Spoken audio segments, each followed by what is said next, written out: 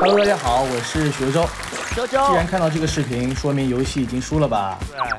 啊，朦胧呢，他是我的好朋友，他在平时呢是一个非常文静，然后非常优雅的人，所以这一次呢，呃，我希望他的挑战是能够在大本营的舞台上说一分钟的话，看他一分钟到底能说多少话，加油！爱你哦，周周，加油吧！来，好，开始。大家好，我是今天快乐大本营的特别附加的主持人，我叫于朦胧，欢迎大家来到快乐大本营的现场，给我点面子，谢谢。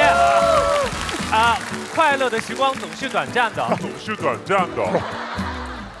但是呢，虽然现在到了说再见的时候，但我非常感谢今天的嘉宾，有演员，有歌手，还有我们的快乐家族，对不对？啊，还有多久？虽然。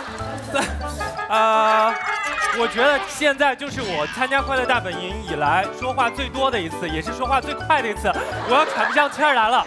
谢谢大家给我这个面子。时间到，谢谢，太可爱了，我要喘不上气来了。但非常棒，来掌声给于朦胧。谢谢，谢谢。